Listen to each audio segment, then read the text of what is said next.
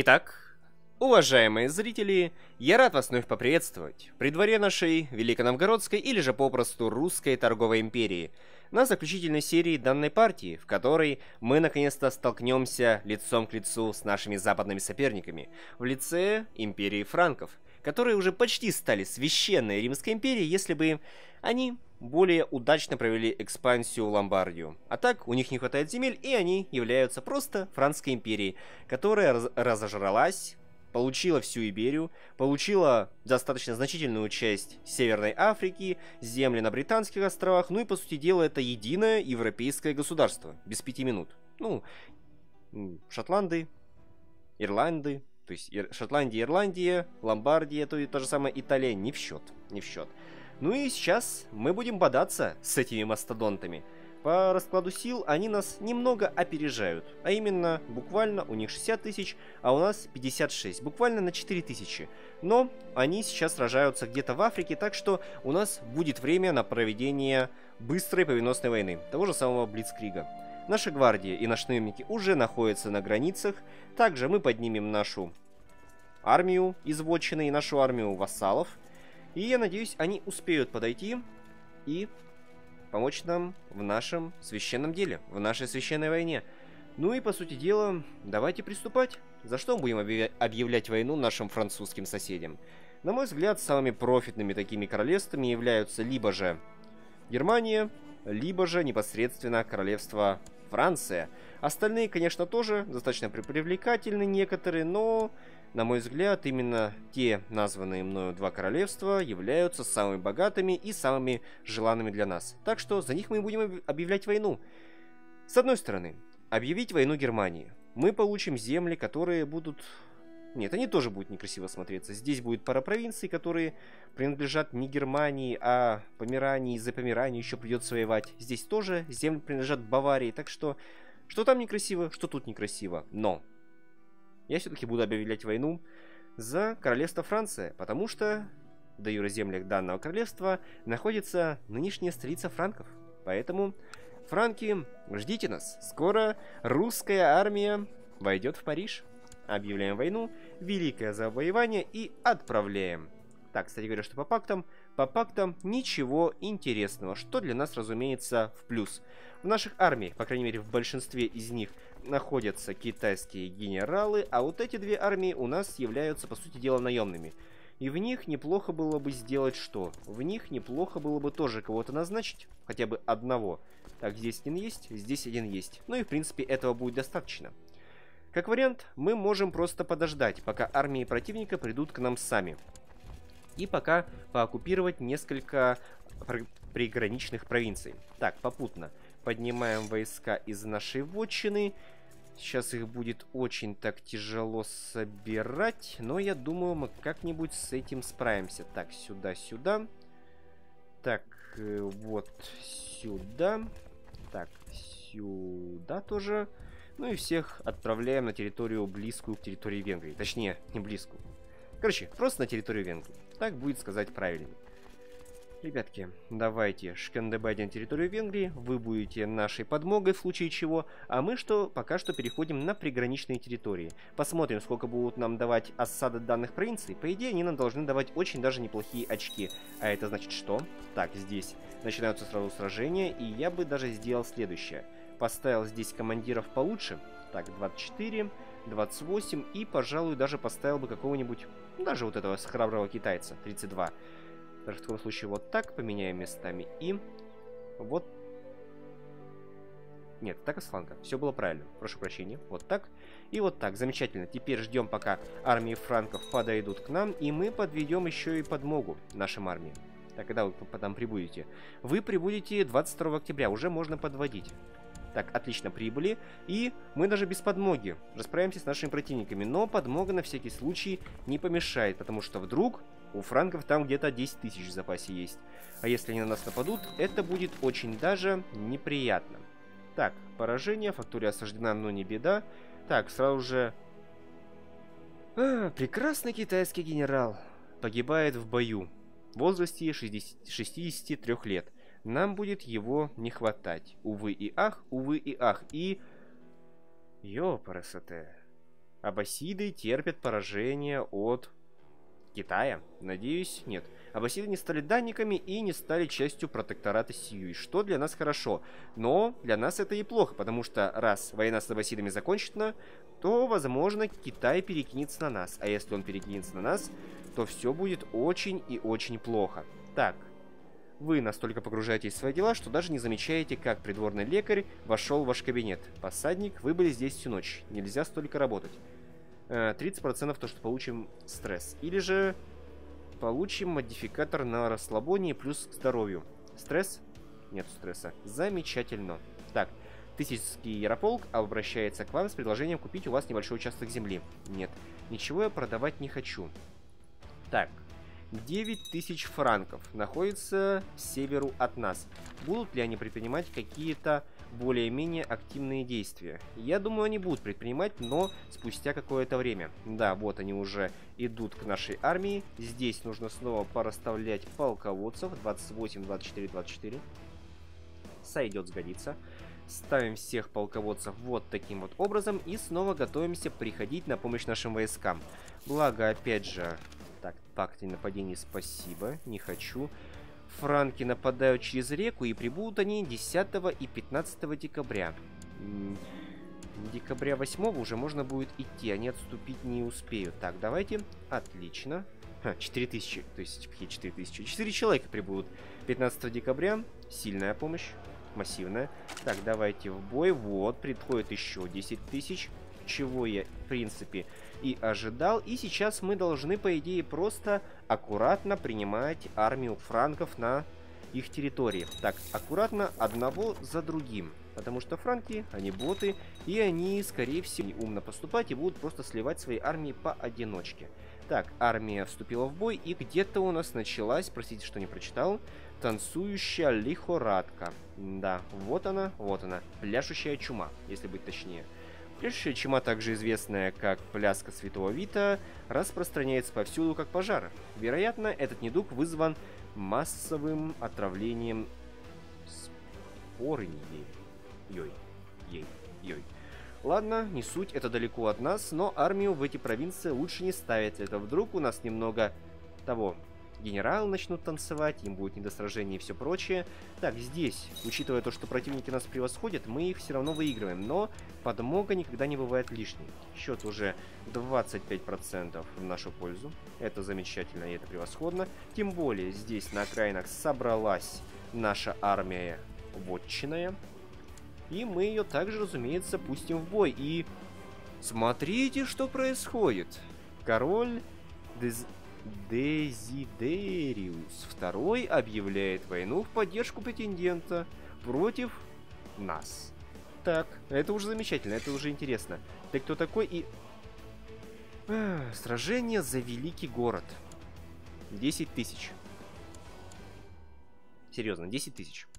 56 тысяч. О чем ты думаешь, Камикадзе? Ты думаешь, что, что мы отвлечемся на франков и не сможем с тобой справиться? Итальянец. Фигов. Мы с тобой справимся, мы с тобой справимся. Ну, две войны попутно, это будет гораздо интереснее. Однако, какое-то такое чувство мне подсказывает, то, что сейчас нам могут и третью объявить войну. Какие-нибудь византийцы или какие-нибудь аббасиды, почему нет, тем более мы тут с ними каким-то образом граничим. Судя по всему, мы вместе с Грецией получили эту провинцию. А может и нет. А может и да. Ну-ка, кому она принадлежит по юре? Не по юре, а в настоящий момент. Ну да, она принадлежит Греции. Да? Да. Так что ждем, возможно, еще одной войны. Возможно, не ждем. Точнее, возможно, ее не будет. Возможно, будет, но ее в любом случае нам не помешает ожидать. Мы, конечно, скорее всего, выиграем войны, тем более уже с франками война практически выиграна. Быстро. Даже слишком быстро. Как говорится, не почувствовали. Так, присоединиться к войне. Ты кто такой? Ты наш друг из династии де Кантабрия, которые до этого правили где-то в Испании, ну и, по сути дела, сейчас правят где-то в Испании. Ну хорошо, замечательно. Давай ты нам поможешь в нашей войне против своего же сюзерена, или... Или мы тебя позовем войну против Италии, или той же Ломбардии, как ее тут называют. Не знаю, не знаю, посмотрим. Так, шанс получить общительного 45% и 45% шанс получить застенчивого. Не знаю, кто выберет застенчивого, я выбираю общительного. И мы становимся общительным, что принципе, замечательно и, в принципе, превосходно. Почему бы и нет? Почему бы и нет? Паркуя бы и не пам. Так, давайте. М -м, граф присоединяется к войне, присоединяется к войне. Стоять, он... Хм. Хм, надо было прочитать полностью. Так, защищается в войне. Ладно. Так, стоп, стоп, стоп, стоп, стоп. Франки, вы что тут приплыли к нам на корабликах? На корабликах вы к нам приплыли. Ну, давайте мы с вами поздороваемся. Поздороваемся. Так, ребятки, идите сюда. 4000 мы направляем здороваться с этой французской армией. Хотя они, возможно, просто пришли, я их не заметил. Скорее всего, этот вариант, то, что я их не заметил, они просто пришли, более-более реален. Так, ребятки, давайте идите на штурм. Везде? Не везде, только в трех провинциях. Так, замечательно, замечательно, замечательно. 98%. И как-то, как говорится, не почувствовал. Надеялся я на... Так, стоять, стоять, стоять, стоять. Надеялся. Вот, вот. Враги не дремлят. Вперед, ребятки, что тут по командирам? Ёпарасы, ты один командир. Вы что, серьезно? Так, быстро. Все. Вперед. В атаку. Помогать нашим армиям. Благо, они у нас сражаются с плюсами. И мы побеждаем в данном сражении. И на этом даже закончится, скорее всего, данная военная кампания. Мы только пересекли границу Французской империи, и уже, по сути дела, война закончена, и мы получили свое распоряжение Францию. Изви... А... Я скажу больше. Мы получили больше, чем просто Францию, мы получили здесь каким-то образом земли, здесь каким-то образом земли, а... Возможно, потому что они находились в вассалитете, но с другой стороны... Черт подери. Нам же показалось то, что мы получим только вот этот огрызок, и вот тут небольшой огрызок. Ну что ж, получили больше, я не против этого, пускай. Я даже за. Ну, в таком случае мы разбираемся с Ломбардией, и 12-минутная серия это как-то слишком мало. Поэтому почему бы нам не поступить как истинные камикадзе и не объявить войну вот этому вот человечку, генералу-наместнику.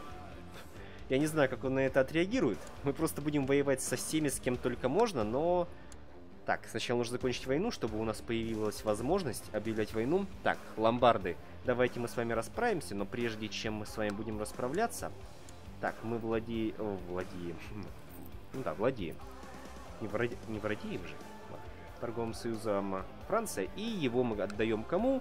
А его мы отдаем Москве. Почему бы и нет? Так, торговый союз Франция, включая все низшие титулы, да? Или не да? Я думаю, не да. Да. Так, чем вообще владеем? Мы, мы, по сути дела, ничем не владеем. Никакими замками, никакими городами мы здесь не владеем. Только непосредственно, ну, непосредственно сами, самими провинциями. И все, и все. Так что низшие титулы я отдавать и включать пока что не хочу. Просто пожалуем титул Торговый союз Франция. Отправляем. Отлично и замечательно. Здесь почему-то не перешел под вассалитет. Ну и ладно, ну и пускай, с тобой что-нибудь придумаем. Так, что касается здесь. Королевство ли он? Любые предыдущие обладатели всегда. Интересное условие, интересное. Так, что это? Рыцари Сантьяго, Тевтонский орден. Только что был основан орден братьев немецкого дома Святой Марии в Иерусалиме, католическая церковь в лице... Да-да-да-да-да, так. Немцы, скорее всего, образовались потому, что мы завоевали часть провинции, принадлежащей Германии, а рыцари Сантьяго образовались потому, что мы завоевали часть провинции, находившихся в Испании. Тревожно? Тревожно. И еще и рыцари Калатравы появились. Замечательно и превосходно. Точнее, по-моему, Калатрава Испания, а Сантьяго кто-то другой. Но я опять же могу ошибаться. Опять же, я могу несколько ошибаться. Все мы люди, все мы ошибаемся. Так, армии делим на равные части, чтобы они не истощались. И эти равные части направляем на борьбу с Ломбардией. Так, идите сюда, идите сюда, не даже вот так, сюда сюда. Здесь болячка идет. Да, здесь болячка идет и распространяется. А как она распространяется? А вот так. Она распространяется. Так что на этих территориях лучше бы нам вообще не задерживаться и идти сразу же на территории Италии. Вот такими вот обходными путями. У нас, конечно, сейчас превышение вассального лимита, что достаточно неприятно бьет по нашей экономике, хотя она и так сильна, страшна и непобедима. Но мы это пока потерпим. Потом уже после данной войны будем разгребать эти дела. Так, давайте посмотрим. Если мы просто выдвинем требования, то получим столько-то. Если мы заключим белый мир, то получим столько-то. Нужно ли нам 596 монет и чуть больше престижа? Я думаю, не нужно. Так что выводим на белый мир, чтобы как можно быстрее завершить эту войну и перейти к Китаю. Не знаю, выиграем мы вообще войну с Китаем или нет. По идее, как только мы нападем на этого самого генералиссимуса наместника, который там сидит, то нам и китайцы объявят войну и пришлют ему помощь. Так, давайте штурмом. Здесь замок. Здесь штурмом. Здесь штурмом. Так, китайцы сидят. Китаец есть, китаец есть, китаец есть, китаец есть. Да, все замечательно. Все по красоте. Здесь мы наблюдаем за нашими противниками, чтобы они не сделали никаких опрометчивых действий. Ничего сейчас не хочу строить уже. И происходит русское восстание религиозного течения, буддизм. И где оно происходит? И оно, разумеется, происходит на... Ёпарас, это тихо стоять. Не успеваю даже сказать ничего. Так, происходит на территории Волжской Булгарии, у которой мало сил и которая ничего не может противопоставить своим противникам. А это значит что? Правильно, это значит нашей армии придется сейчас идти туда и разгребать все сложившиеся там дела. Так, тут болячка что ли какая-то? Нет, пока еще не подошла. Пока еще здесь все у нас тихо, мирно, спокойно. Так, давайте белый мир. Завершать войну до победного я не особо горю желанием. Так, замечательно. Теперь армии возвращаем на родину. Пускай они сначала встанут на наши земли, потом мы их уже распустим. Так, наложница беременна, она нам, скорее всего, изменяет. Ну да ладно, пускай. Пока что мы на это никак не реагируем. Войска, давайте, отходите. Поражение. Давайте, ребятки.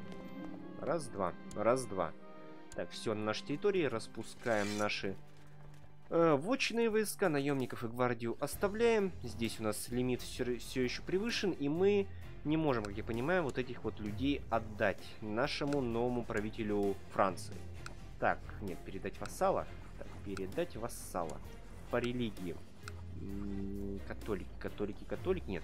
Не по религии, а по значимости. Так, вот есть католичка. Передать вассала. Затем снова передать вассала. Так, где, где, где, где, где, где, где, назначить наставника. Ёпарас, это я опять я потерял. Так, вот, снова передать вассала. Так, снова. Вот еще один католик. Передаем вассала. Так, снова передать вассала. Ну, сейчас доведу я, так скажем, до более-менее нормального лимита. Так, еще троих мы передадим, чтобы у нас по денежкам не было просадок. И пускай вот наш этот друг с ними уже разбирается. Так, ну и крайнего. Так, передать вассала. Все. Передали. Замечательно и превосходно. Так, Поражение. Где поражение? Здесь поражение. Здесь нас просто грабят. Ну и пусть, ну и пускай. Ну-ка, а теперь. Китаец. Наш друг китаец. Мы тебе можем объявить войну. Священная война за... Ага. Тебя поддержат буддисты. Ну-ка, а здесь мы можем... Так, набег на империю Цзинь. Вторгнуться в империю Цзинь. Вторжение в Китай не такая простая задача, как может показаться. Вы столкнетесь с огромной армией, скорость выполнения получения снится 75%, победа означает, что ваша династия займет трон Китая. Вы получите массу военных трофеев, в случае поражения ваша страна будет расколота. Ну, вторгаться в империю это себе дороже, учитывая то, что в Китае сейчас золотой век и э, политика экспансии, там появится где-то полмиллиона бойцов, я так предполагаю, и они нас просто размотают. Здесь это точно мы ставим камикадзе, и у нас ничего не получится. А если мы сделаем набег... Так, это решение забл временно заблокирует все взаимодействия типа сделать подношение или попросить дар до тех пор, пока набег продолжается еще в следующие 5 лет после. Вы потеряете милость и получите добычу, но часть ваших войск будет занята грабежами. Это, как я понимаю, мы просто получим модификаторы и все прочее. А я этого не хочу. Я этого не хочу. Так что, пожалуй, мы просто объявим священную войну Китаю, ну и посмотрим, на что эти китайские армии способны. Вдруг действительно Китай просто возьмет и призовет, ну, я имею в виду протекторат Сиюй, возьмет и призовет свою армию из Китая. И мы поздороваемся с ними, и они дадут нам леща. И будет немного обидно нам за поражение. Но мы хотя бы попытаемся. Мы хотя бы попытаемся. Потому что, как я уже сказал, франков мы вообще как-то не почувствовали, как говорится. Как говорится, не почувствовали. Так, э, по-видимому, один из придворных очень рассердил мою жену. О чем она думает? Так, со с лабиринтом спасибо не хочу. Так, дети их уже можно оставить. Их наплодилось много. Так что, ну, оставим. Пускай пока сами обучаются. Всему, чему хотят и чему, чему у них лежит душа. Мы пока их не будем ни на какой путь верный или неверный направлять. Так, Булгар под осадой. Это понятно. Ну, давайте, войска. Идите. Вы, в принципе, двигаетесь резво, бодро и все прочее. Так, можем потерять на всякий случай вложимся в избирательную кампанию. У нас тут наследник, наш племянничек, немного негр, которого я бы даже поменял, а то вдруг мы немного откинемся. А если мы немного откинемся, то все будет очень плохо. Так, давайте поставим вот Мстислава нашим наследником. Так, новое пополнение. Подумаем об убийствах. Кто такой? Вот ты такой. Де Оксфорд. Ты откуда и куда? Ты отсюда и к нам сил у тебя пока что нет, но за счет ивентов они будут выполняться, ну ты нам в любом случае не страшен. Мы на тебя пока что не будем обращать внимания. Так, еще какое-то восстание. Где? Здесь. Попутно разберемся и с ним. Давайте, ребятки. Раз, два, три. Раз, два, три. Бодрым маршем под стук барабанов. Идем расправляться со всеми из вся. Так, такова цена упадка. Что случилось? Тщеславные идиоты. Что случилось? Где у вас что? Бенгальская империя? Или что? Судя по всему, Бенгальская империя распалась. Немного. Так, унаследовал, завоевал как лидер восстания. Ну да, раскололась. Бенгальская империя. Раскололась. Немножечко. Совсем капельку. Так, давайте, ребятки. Идите сюда. Здесь расправились. Давайте расправляйтесь. Замечательно. Превосходно. Выдвигаем требования. Заключаем в тюрьму. Дальше движемся на Китай. Как только будем на границах. А давайте так. Как только я приду на границу с Китаем, я к вам вернусь, чтобы лишнего времени не отнимать. Одну секунду. Ну что же, уважаемые зрители, наши войска долго шли, но они наконец-то дошли до границы протектората Сиуи. И мы готовы переходить к наступлению и готовы получить лещей от данного протектората, если что-то пойдет не так. Ладно, что? Объявляем войну? Священную войну за что? Ну что, за что можем вообще объявить священную войну нашим соседям? Да вот хотя бы за эти несколько провинций. Священная война за Карашар. Заодно мы получим провинции, которые лежат на шелковом пути. А это значит что? Правильно, а это значит вперед в атаку. Так, май... Замечательно. И теперь только у меня один вопрос. Наши китайские генералы покинут нас или не покинут нас? Если нас не покинут, у нас будет все просто замечательно и все будет просто в шоколаде. Если же они нас покинут, то будет тяжело, но мы как-то будем с этим бороться и справляться. Так, войска направляем по данным маршрутам. Здесь нашу армию тоже направляем вот так вот. И заодно сейчас... Да, все наши, точнее не наши противники, а данники протектората Сьюи будут... Ух, ёпрст. Ох, ёпарасоте, 92 тысячи бойцов. 111 тысяч в общем. Что-то я как-то все-таки поспешил. Поспешил. И в итоге мы, скорее всего, сольем. Ну, Хотя, если так подумать, они будут на нашей территории, здесь снабжение очень даже плохое, и нам останется только одно единственное, и это ждать. Ждать вообще, пока они, что они будут делать. Если они будут подступать так же глупо...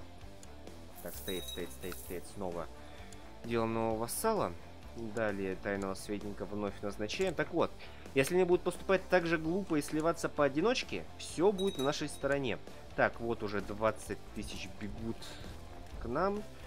И я бы предпочел отступить, потому что здесь 20 тысяч, кто знает, сколько там еще бойцов. Хотя, с другой стороны...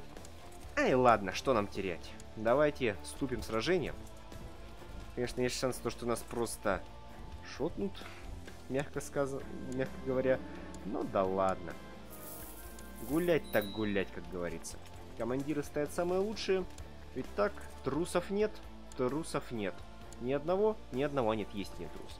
Прошу прощения, один трусишка у нас есть, и это китаец. Так что переставляем вот так вот, для пущей верности. Так, получать титул полководца, замечательно и превосходно. Так, нет, уже 40 тысяч бойцов. Уже 40 тысяч бойцов, а у нас примерно на границе находится сколько? 8 с лишним тысяч наемников, ну и наша гвардия составляет примерно сколько? Э, наша гвардия составляет, ну вот увидите примерно сколько бойцов. Это значит то, что нам сейчас будет очень-очень больно, но раз идем, так идем. Еще не плюс, скорее всего, обгоняют нас по технологиям, за счет чего у них все будет также очень замечательно. Так, войска на отступление все. Быстро, весело и резво. А, быстро, весело и резво. Так, столица по двору правителя известного как... Стоп. А, строительство башни. Я его разве соглашался? Так он не соглашался на строительство башни. Да ладно. Так, ребятки, отходим, отступаем. Быстро, весело, задорно. Так, еще на строительство башни. Зачем я согласился на это строительство? Кто бы мне это сказал? Так, э, каменщиков приглашаем. Сейчас все наемники просто разбегутся. Ну и... Да, в конечном счете мы потеряем все и всех. Да, все наемники разбежались, мы в огромном минусе и... Нет, эту войну я все-таки не выиграю. Но так, такое я не ожидал. Ну, что сказать. Будут ли еще раз знать. В следующей партии мы точно нападем на Китай, точно будем с ним сражаться, и точно мы его победим. И как вариант, главной целью следующей партии у нас будет что? У нас будет посадить на трон Империи Цзинь, или же просто Китая, нашу династию. Но это будет уже, как говорится, дела будущее. Так, сразу же начались восстания наемников, проклятие, проклятие. Так, патриарх нам дает денежку, потерпели поражение, пускай, пускай. Контрибуцию мы, судя по всему, не выплатили. Да, потому что сплатить просто-напросто нечем. Так, здесь с повстанцами мы разберемся. Остальных наемников мы распускаем, чтобы они также не оставали. Хотя зачем, с другой стороны? Зачем? Все равно уже. Возвращаться я к этому не буду. Но раз так, уважаемые зрители, вот так и заканчивается. На поражении данная партия. Хотя, с другой стороны, она была очень даже неплохой и очень даже занятной. Вообще, если судить так по целям данной партии, то они были выполнены не все. Мы, конечно, завоевали множество земель, мы выжили как русская торговая республика, мы просто уничтожили Скандинавию, которая представляла большую часть времени для нас самую главную угрозу. Ну и, собственно, мы стали одной из сильных, если не сильнейшей, не считая Китая, держав в данном мире. Конечно, не приходили еще монголы, не приходили еще ацтеки, но что касается монголов. Если пришли бы монголы, они бы напоролись на протекторат Сиюй. А если бы они напоролись на, протектора... на протекторат Сиюй, то это было бы то еще рубило, это было то еще месиво. Но с другой стороны, ацтеки. Ацтеки. Вот с ацтеками было бы, на мой взгляд, уже интереснее, но играть еще 300 лет до их прихода, ну не 300, а сколько тут? 200, 250, где-то примерно столько, я как-то не намерен хочу уже приступить к какому-нибудь новому прохождению. Вообще, как я уже говорил по целям, мы не достигли, по сути дела, самой главной цели. Мы не обратили свое государство в маздакизм. Просто потому, что он у нас не появлялся. У нас был зороастризм, у нас было финское язычество, у нас тут было что? Славянское язычество до сих пор осталось. Тут было много чего, но а, маздакизма так и не появилось. Поэтому мы остановились на согдомаздаизме. Что у нас по культуре, как пример? По культуре, по культуре у нас множество провинций обратилось в нашу культуру, хотя некоторые провинции все еще принадлежат к эстонской культуре, ну, потому что здесь правители, по сути дела, эстонской культуры. Большая часть Скандинавии стала русской культурой, за исключением здесь пары провинций, что, извините? Инди... Индийская культура? Вы серьезно? Русская культура. Так, стоять. Какое-то время здесь правил индус. Посадник Дадхопа... Дадхопатиса. Мудрый. и обратил данную провинцию в индийскую культуру. Неплохо. Индийская культура в Скандинавии. Что может быть лучше и что может быть интереснее? Ладно, тут еще осталась польская культура, литовская культура, хазарская, греческая и так далее и тому подобное. Ну, как-то так и как-то этак. Как я уже сказал, данная партия, на мой взгляд, была достаточно интересная и, ну, по сути дела, для меня это была самая интересная партия из тех, которые я вообще играл. Интереснее было только одно из моих прохождений, которые были не на записи, были давно. Когда я еще не снимал, это было прохождение за хазарских ганат, когда я просто устраивал вторжение в Индию, создавал свое государство, ну и делал вещи другими словами. ладно, о прошлом вспоминать не будем, будем смотреть в будущее.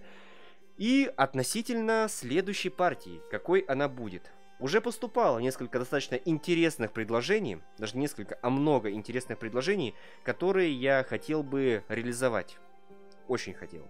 Но на все у меня не хватает времени, по крайней мере до июля точно. Поэтому следующая партия будет, ну, следующее прохождение будет только одно, не два и не три. Поэтому, пожалуйста, уважаемые зрители, в комментариях под данной серией выскажите свое мнение, что вы хотели видеть в качестве следующей партии. С модом, не с модом, ванильную версию, не ванильную. Если ванильную, то в каком регионе и за кого. Если с модом, то опять же, в каком регионе и за кого. Мне будет интересно почитать ваши предложения и прислушаться к вам. Ну и в принципе, это все, что я хотел вам сказать. И я буду с вами прощаться, уважаемые зрители. До встречи в следующем прохождении или даже нет. До встречи в Архамере, где мы будем продолжать покорять Старый Свет. Точнее, приносить его в дар древним и старым, как мир, богам хаоса. До свидания.